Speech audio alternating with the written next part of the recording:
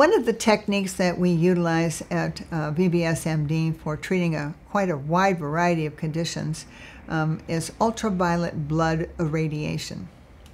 This is a very old technique that was utilized years ago when there were very few IV antibiotics available.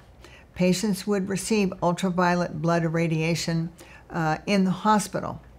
And essentially, what it involves is to remove several hundred cc's of a patient's blood by a tourniquet, put it in a bag, add a tiny bit of uh, heparin and some ozone, and then reinfuse this treated blood to the patient.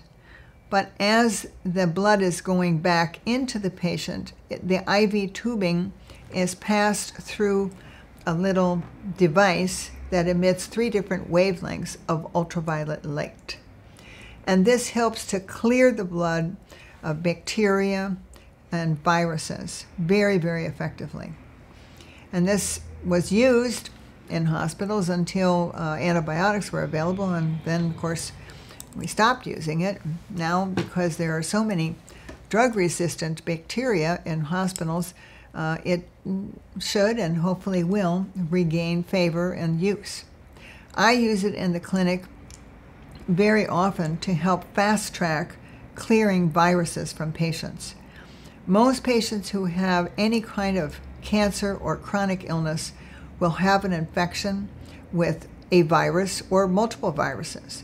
And although we have these uh, uh, SOT treatments or supportive oligonucleotide therapies that we can give for these, uh, getting rid of these entities, um, it takes a little time to make the therapy, and many patients want to, you know, kind of get going and get these viruses treated. Because those viruses, when present in a chronic manner, can thwart uh, the function of your immune system, macrophages, and not only keep your immune system from helping kill the cancer cells, but those infected macrophages can go into an area of tumor and secrete oncogenic proteins and make the tumor grow more.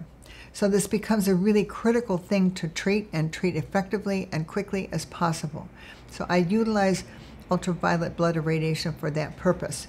And I, it is a very nice treatment because it only takes about 30 minutes and it's a very gentle treatment and it also has um, the ability to be uh, administered through a portacath uh, device, which many cancer patients or chronically ill patients have due to their poor venous uh, peripheral access. So I wanted just to highlight this as a great treatment. It's uh, not terribly expensive, it's easy to tolerate, and it's very, very effective. Thank you.